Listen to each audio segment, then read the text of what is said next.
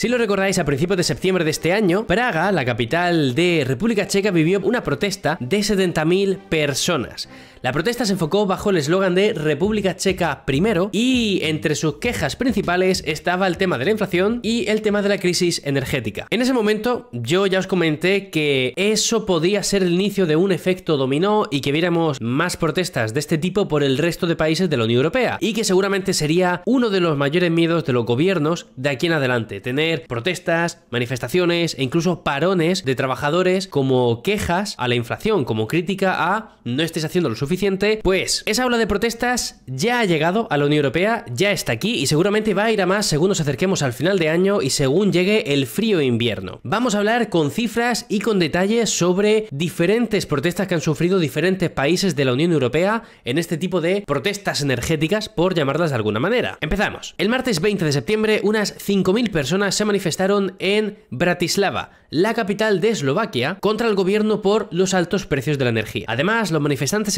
también tener elecciones anticipadas. Cabe destacar que la protesta fue organizada por el partido opositor al gobierno, que es el de Dirección Social Democracia, que viene a ser el Partido Socialista de Eslovaquia. A la protesta se sumaron simpatizantes de otros partidos políticos, sobre todo de la derecha plus plus, según recogen varios medios. En la protesta, el líder de Dirección Social Democracia, que se llama Roberto Fico, que de hecho fue primer ministro del país, culpó al actual gobierno de coalición de ser el responsable de la alta inflación que afecta al país, argumentando que esto no habría sucedido si Eslovaquia no hubiese apoyado a Ucrania en cuanto al tema del el envío de armamento y bueno, las sanciones que la Unión Europea le ha impuesto a Rusia. Yo aquí sinceramente le diría a Robert Fico que, oye, clase de economía a lo mejor necesita alguna que otra, sinceramente, y yo no seré el más puesto en temas de economía, pero bueno, clases de populismo yo creo que le sobran claramente, por tanto ahí no hay que decirle nada, ahí lo está haciendo de lujo el chaval. Siguiendo con la protesta en Bratislava,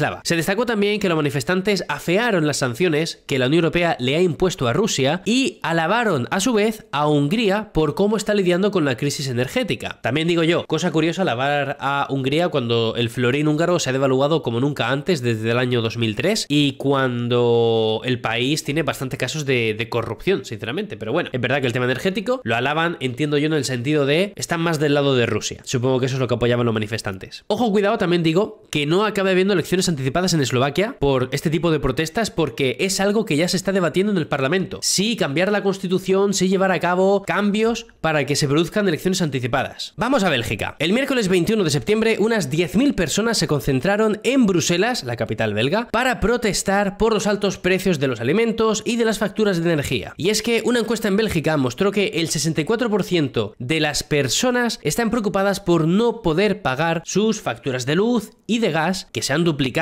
durante el último año. Además, en esa misma encuesta se destaca que el 80% de los belgas dijeron ya que están tratando de ahorrar agua y electricidad para lidiar de alguna manera con sus facturas. Y a esto Encima, tienes que sumarle que hace un mes Alexander De Croo, primer ministro de Bélgica, dijo que los próximos 5 a 10 inviernos serán difíciles debido a los altos precios de la electricidad y del gas y que esto será así como consecuencia de la invasión de Rusia a Ucrania. Por lo que he leído, parece que habrá otra manifestación en Bruselas, pero eso ya será a principios de noviembre, aunque esto puede cambiar. No hemos terminado aún, porque también tenemos que ir a Alemania, que ha sufrido protestas en varias partes del país. Y es que el lunes 27 de septiembre hubo un total de 24.000 personas que se manifestaron contra las políticas energéticas del gobierno de coalición de Olaf Scholz. También se manifestaron en contra de las sanciones impuestas a Rusia por parte de la Unión Europea. De hecho, había pancartas y consignas contra el gobierno directamente de Scholz y pidiendo que se pusiera en funcionamiento el Nord Stream. Y en funcionamiento